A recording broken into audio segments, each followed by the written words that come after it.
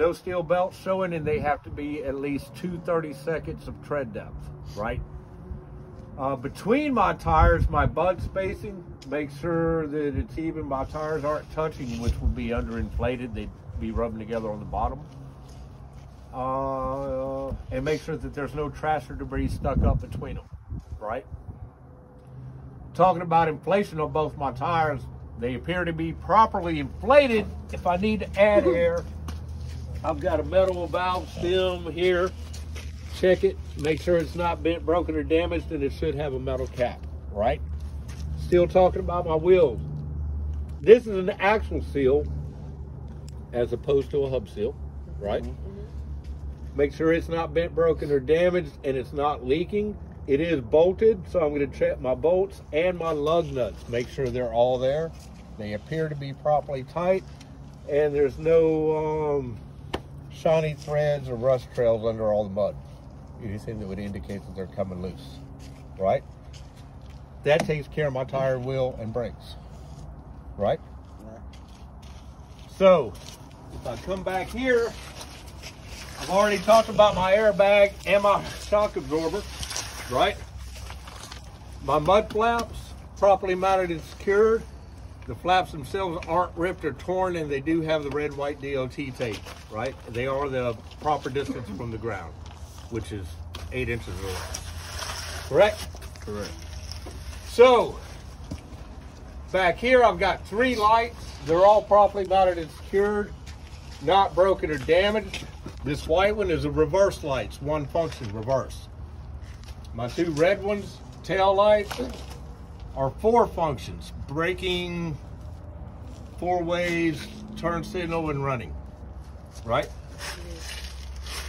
This bar that's up under my fifth wheel is a torque arm. Torque arm, torque bar, whichever you want to call it.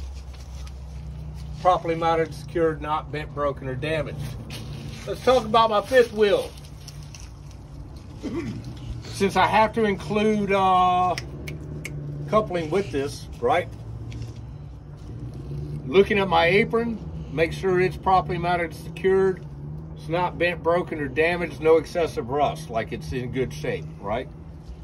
There's no gap between my apron and my fifth wheel skid plate, right? You don't want to see any daylight or air between them. And your fifth wheel appears to be properly greased. Um, my fifth wheel is welded to my platform and this platform is properly bolted to the frame of my truck. I've got the same number of bolts on both sides, so I'm not missing any, and they appear to be tight, right? Back here, I can see that my jaws are closed around my kingpin, around the shank of my kingpin. And uh, my kingpin is not bent, broken, or damaged. This is the only place that I can see it when the trailer's hooked up, right? Right. That should be everything except for my airlines when I, Good to see I skipped right by. Do what? Cigarette. I didn't hear you. Oh, thank you. So, I skipped right by these. My airlines and my electrical line. The blue one is service, right? On the inside. The red one is the emergency line. Make sure that they, neither one of them, have any abrasions, bulges, or cuts. My electrical line is in good shape. There's no exposed wires on it. And your glad hands, when they're hooked up, if you were to take them off, check the rubber seal on the inside, make sure it's in good shape, it's not missing. And all of these have to be held up off the catwalk. You cannot be dragging it. That right there should be B. Y'all tell me if I missed anything.